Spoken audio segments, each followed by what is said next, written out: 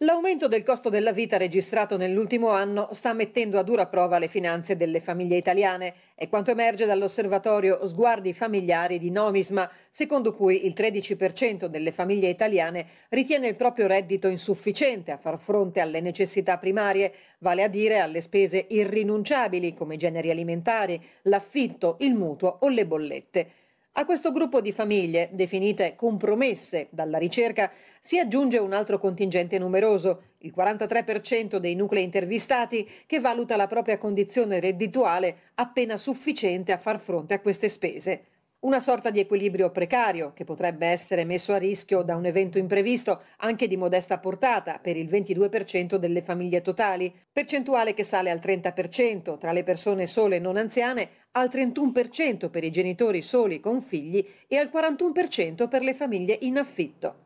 Dall'indagine emerge anche che, a parte la famiglia di origine, i servizi sociali sono la principale rete di supporto dei nuclei in difficoltà. Oltre alle sovvenzioni economiche, i servizi più richiesti sono quelli legati all'assistenza domiciliare, sia quella esclusivamente sociale, sia quella integrata con i servizi sanitari.